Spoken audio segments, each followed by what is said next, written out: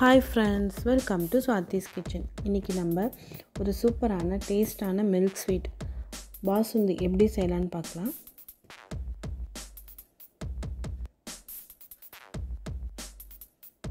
இதுக்கு ஃபஸ்ட்டு நான் சுடுதண்ணியில் கொஞ்சமாக குங்குமப்பூ சேர்த்துக்க போகிறேன்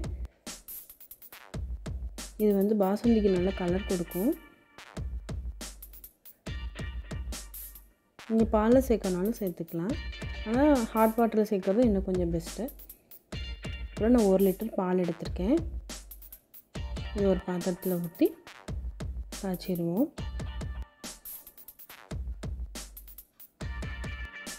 பால் இந்த மாதிரி பொங்கி வரும்போது அடுப்பை கொஞ்சம் குறைச்சி வச்சுக்கோங்க. அப்புறம் இந்த மாதிரி பாலில் வந்து ஆடையெல்லாம் மேலே வரும். அப்புறம் பாத்திரத்தில் இந்த ஓரமாக ஒட்டும் போதெல்லாம் அதை எடுத்து எடுத்து உள்ளே விட்டுட்டே வாங்க. நான்ஸ்டிக் பாத்திரம் வச்சுக்கோங்க. அப்போ தான் இன்னும் கொஞ்சம் நமக்கு ஈஸியாக இருக்கும். இந்த பாலில் ஆடையெல்லாம் வரதெல்லாம் எடுத்து எடுத்து உள்ள விட்டுட்டே வாங்க. இதில் தான் நமக்கு வந்து பாசுந்தி கிடைக்கும் அந்த ஆடைங்களில்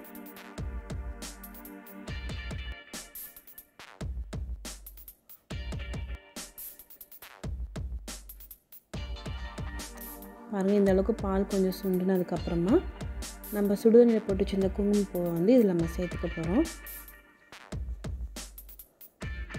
இது சேர்த்தோன்னே நல்லா கலர் வந்திருக்கு பாருங்கள் அப்புறம் வந்து கால் கப்பு சுகர் வந்து போதுமான அளவு. உங்களுக்கு ஸ்வீட் வேணும்னா நீங்கள் இன்னும் கூட கொஞ்சம் சேர்த்துக்கோங்க. அப்புறம் கொஞ்சம் முந்திரி கொஞ்சம் பாதாம் கொஞ்சம் பிஸ்தா. நல்லா சேர்த்துருக்கேன்.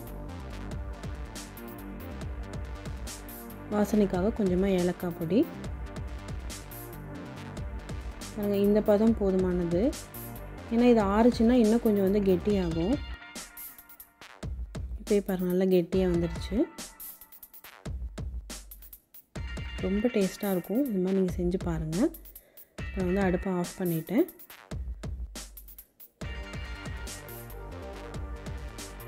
நல்லா கெட்டியாக வந்திருக்கு பாருங்கள்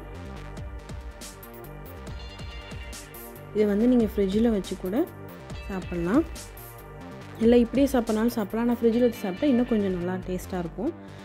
இந்த ரெசிபி உங்களுக்கு பிடிச்சிருந்தா உங்கள் கருத்துக்களை கமெண்ட் பண்ணுங்கள் பிடிச்சிருந்தா லைக் பண்ணுங்கள் ரொம்ப பிடிச்சிருந்தா ஷேர் பண்ணுங்கள் இது வரைக்கும் நம்ம சேனலை சப்ஸ்கிரைப் பண்ணாமல் சப்ஸ்கிரைப் பண்ணுங்கள் பக்கத்தில் இருக்க பெல் சிம்மில் கிளிக் பண்ணுங்கள் அதில் ஆளுங்கிற ஆப்ஷன் கொடுங்க. அப்போ தான் நான் அடுத்து போகிற வீடியோ உங்களுக்கு நோட்டிஃபிகேஷன் வரும். தேங்க்யூ